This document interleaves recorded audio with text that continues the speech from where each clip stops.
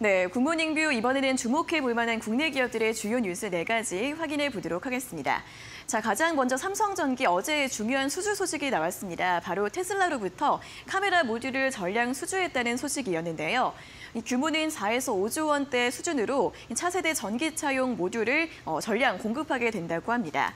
올해부터 테슬라가 출시하는 모델 X와 Y, S 등 주요 승용차와 트럭 신형 기종에 삼성전기의 카메라 모듈이 탑재가 될 예정이고요. 기존보다 화소를 5배가량 높인 제품이라고 합니다. 한편 이번 대형 수주를 통해 삼성전기는 기존의 MLCC에서 국한됐던 사업 구조를 전장 쪽으로 또 포트폴리오를 더욱더 확대할 수 있을 것으로 보이는데요. 특히 이 차량용 카메라 모듈은 자율주행 기술이 부각되면서 점점 중요도가 높아지는 품목이기 때문에 앞으로의 기대감이 높게 형성이 되고 있고요. 또 삼성전기는 앞으로 IT나 그리고 전기차, 자율주행차 부품 쪽으로 미래 성장 동력을 강화할 계획이라고 합니다. 증권가에서도 삼성전기에 대해서 긍정적인 전망들 많이 내 놓고 있는데요. 이 소식과 함께 살펴보시면 좋을 것 같습니다. 이어서 두 번째 이슈 확인해 보도록 하겠습니다. 롯데호텔이 자사가 보유한 롯데칠성 음료의 지분 20만 주에 대해서 블록딜을 추진합니다.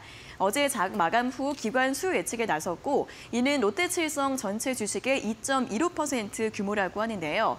이 로, 어, 호텔 롯데가 이번 블록딜에 성공하면 총 370억 원의 유동성을 확보할 수 있게 된다고 합니다.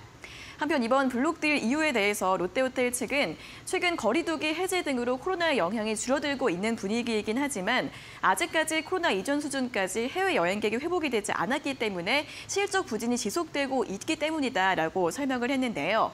아직까지는 리오프닝 효과가 좀 크게 나타나지 않고 있는 것으로 보입니다.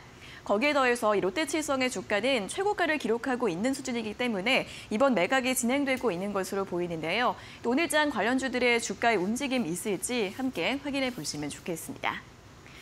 자, 다음 이슈 살펴보도록 하겠습니다. 카카오페이도 어제 블록딜 소식이 나오면서 주가가 크게 흔들리는 모습을 보였는데요.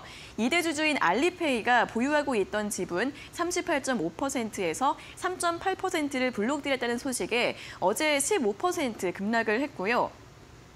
간신히 10만 원 선을 회복했던 주가가 다시 어제 8만 원 선까지 미끄러지면서 어제 하루 만에 시가총액이 2조 원 증발을 했다고 합니다. 이 블록딜 이유로는 최근 중국 정부가 빅테크 규제를 완화하면서 알리페이가 투자 재원을 마련하기 위한 목적으로 추정이 되고 있고요.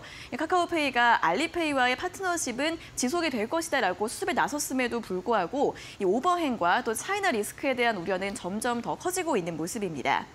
하지만 증권가에서는 이와 별도로 카카오페이 자체에 대해 성장성은 긍정적으로 보고 있는 모습인데요. 주가의 반등 여부에 대해서는 조금 더 확인해 보실 필요가 있겠습니다.